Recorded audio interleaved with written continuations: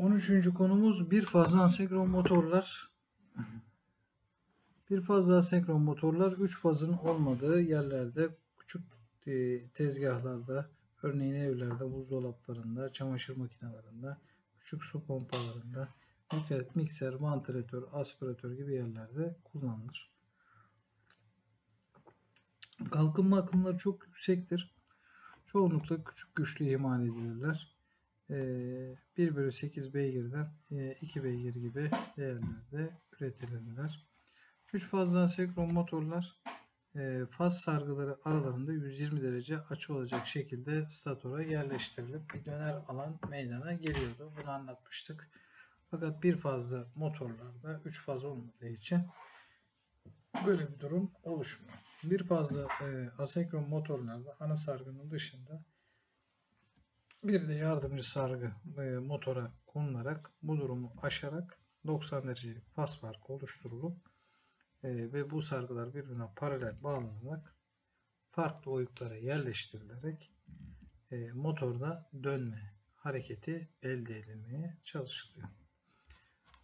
Ana ve yardımcı sargılardan geçecek akımlar ise meydana getirecekleri faz farkının oluşmasını sağlıyor.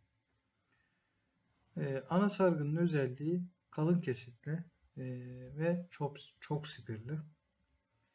E, yardımcı sargının özelliği ise ince kesitli, az spirli. Spir sayıları ana sargıya göre %25 daha e, az. Yani %25'e kadar, dörtte bir kadar. Etken kesiti ise 1 bölü 3, 1 bölü 4 oranında daha küçük sarılıyor. Bu sayede ana sargının kesiti kalın olduğu için e, R'si büyük. Ana sargı e, şey yardımcı sargının kesiti ince olduğu için R'si büyük oluyor. O zaman ana sargının aynı şekilde X R'sinin büyük olmasını da sağlamak için e, çok spirli sarıyoruz. Aynı şekilde e, I'nın e, U'dan 90 dereceye yakın geri kalması sağlanıyor. Ee, ana sargı altta yardım sargı üstte yerleştirerek de X'lerin daha da büyümesini sağlıyoruz. Tamam. Yardımcı sargıdan geçen I'nın U'dan 90 derece ileride olması için e, seri bir kondansatör bağlanıyor. Ana ve yardımcı sargıları e, akımları arasında 90 derecelik faz farkı meydana getiriliyor. Bu sayede daha düzgün bir döner manyetik alan meydana geliyor. Rotor çubukları manyetik alanı tarafından kesilerek bir EMK indükleniyor. Çubuklar kapalı devre olduğundan bir kısa devre akımı geçiyor. Rotorda bir manyetik alan oluşuyor. Buraya kadar aslında 3 fazlı motorlardaki durumun aynısı. Stator döner manyetik alan, rotor manyetik alanın sürüklenmesi sonucunda rotor dönüyor. İlk kalkınma anında yardımcı sargı ana sargının manyetik alanını destekleyecek yöndedir. Fakat rotor devri nominale yaklaştıkça yardımcı sargı ana sargı ve rotor sargı üzerinde ters etki yapmaya başlar. İşte bu nedenden dolayı normal çalışmasını engellediği için yardımcı sargı devreden çıkartılır. Nominal devre ulaştığında yardımcı sargı artık devreden çıkarılmazsa ince kesitli olduğu için fazla akım geçeceği için sargılar ısınıp bir süre sonra da yanmaya neden olur. Bir fazla motorların şemalarını inceleyecek olursak U1, U2 şurası ana sargı uçları. Z1, Z2 şurası yarım sargı. S merkez kaç anahtarı şurada. CK yol verme kondansatörü. IA ana sargı akımı. Şurası. IY yardım sargı akımı şurası IHAT şebekeden çekilen akım. Fi ise ana sargı ve yardım sargı arasındaki pas açısı şurası.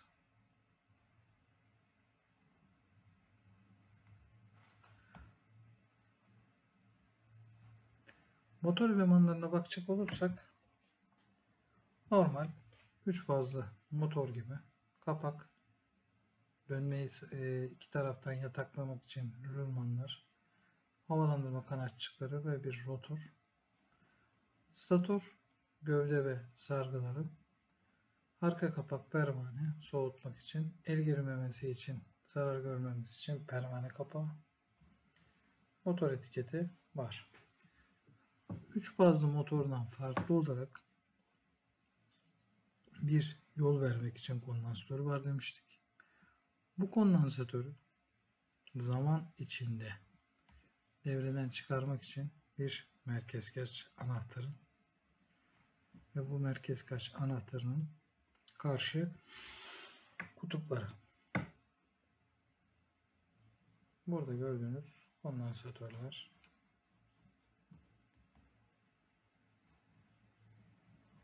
Aynı şekilde bir fazla motor, kondansatörler. Yarım sargı dedik ki devreden çıkarılması gerekir nominal akıma yaklaştığımızda. İşte ilk devreden çıkarma yöntemimiz santrifüj merkez kaç anahtarıdır. Motor kalkınma anında nominal devrin %75'ine ulaşınca ana sargıyı devreden çıkarır iki tane kısımdan meydana gelir. Duran kısım kapak içinde, hareketli kısım rotor mili içine monte edilir. Duran kısımda iki kontak mil üzerinde duruyorken kapalı konumdadır. Yardım sargıyı devrededir. %75'e ulaştığında hareketli kısım merkez kaç kuvvetin etkisiyle dışarı doğru çekilerek kontak açılır. Enerji kesildiğinde ise mil yavaşladığında bir yay vasıtasıyla tekrar eski konumuna gelerek kontağı kapatır. Şurada eşdeğer devre üzerinde gösterirsek bakın şurası merkez kaç e, anahtarının birincisi kısmı şurası da ikinci kısmı motor dönmeye başladıkça rotor merkez kaç kuvvetinden dolayı yavaş yavaş kontaklar açılır. Açılıp dışarıya basar. Şuraya. İşte basınca yardım sargı devreden çıkıyor. Aynı şekilde motor yavaşladığında zaman içinde kuvvet yay vasıtasıyla çekilerek yardım sargı devreden çıkarılır.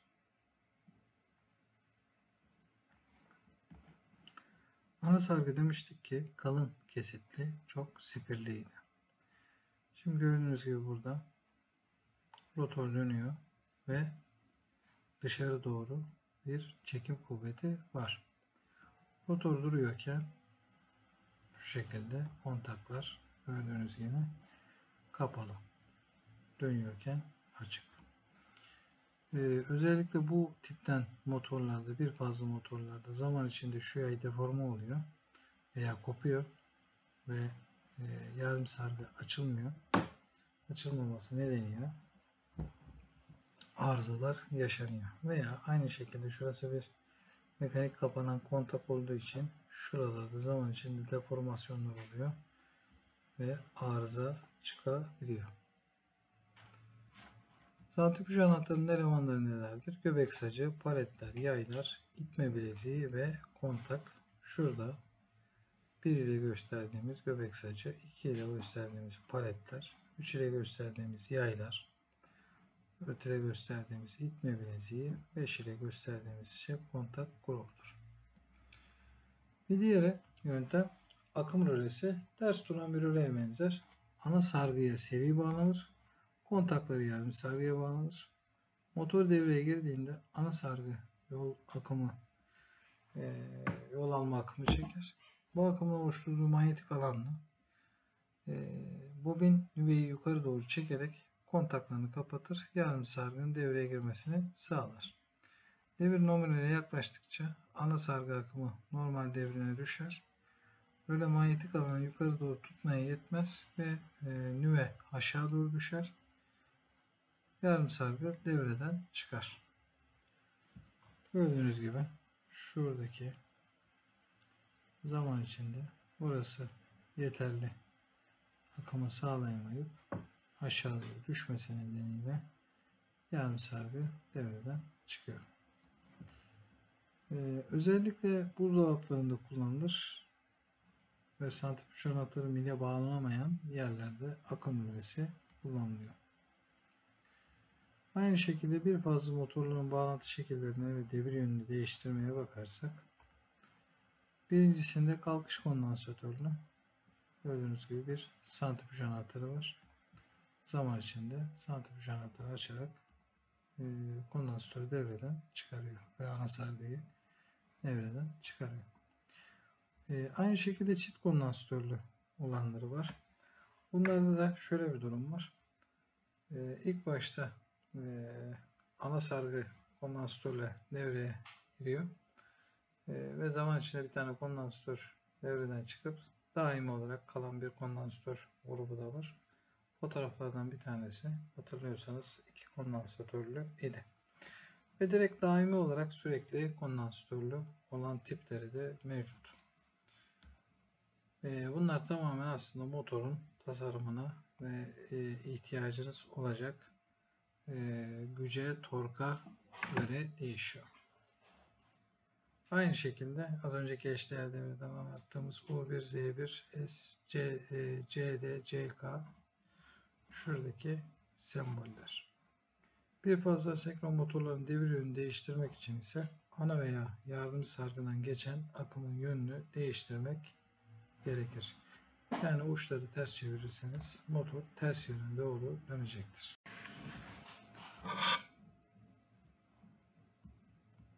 Motorun devir yönünü değiştirmek için az önce anlattığımız gibi iki ucun yerini değiştirmemiz gerekiyordu. Şu anda saat yönüne doğru dönerken L1 ve L0 bağlı. Yani faz nötr. İki ucu değiştirirseniz ki burada yarım sargının uçlarını değiştirmiş.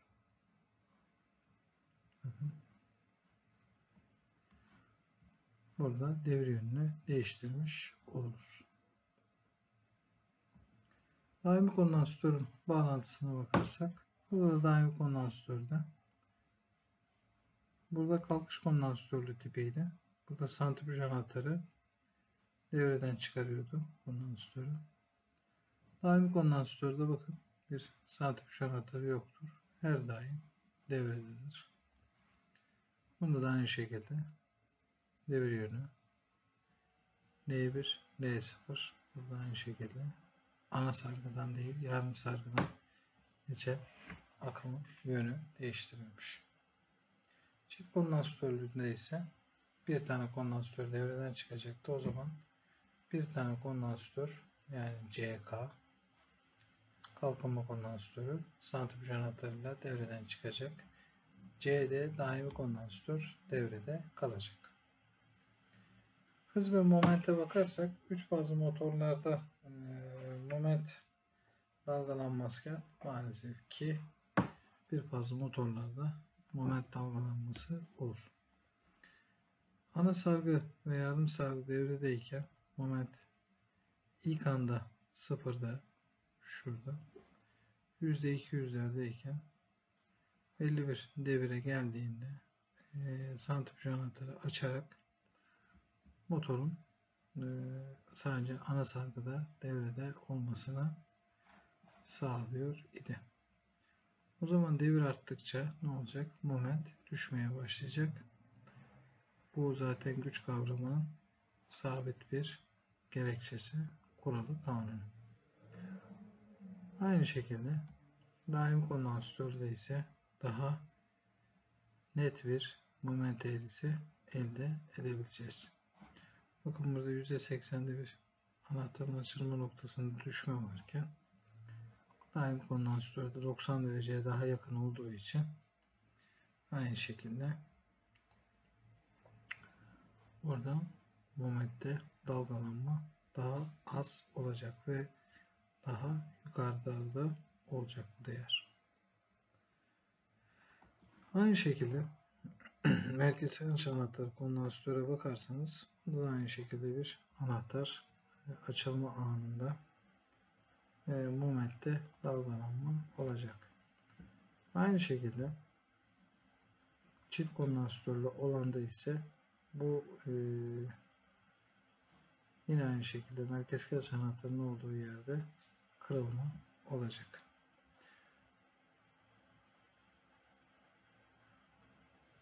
Bizim standart olarak kullanacağımız güçlerdeki motorlarda e, bu kondansatör yol alma kondansatörleri standart hale getirilmiş durumda.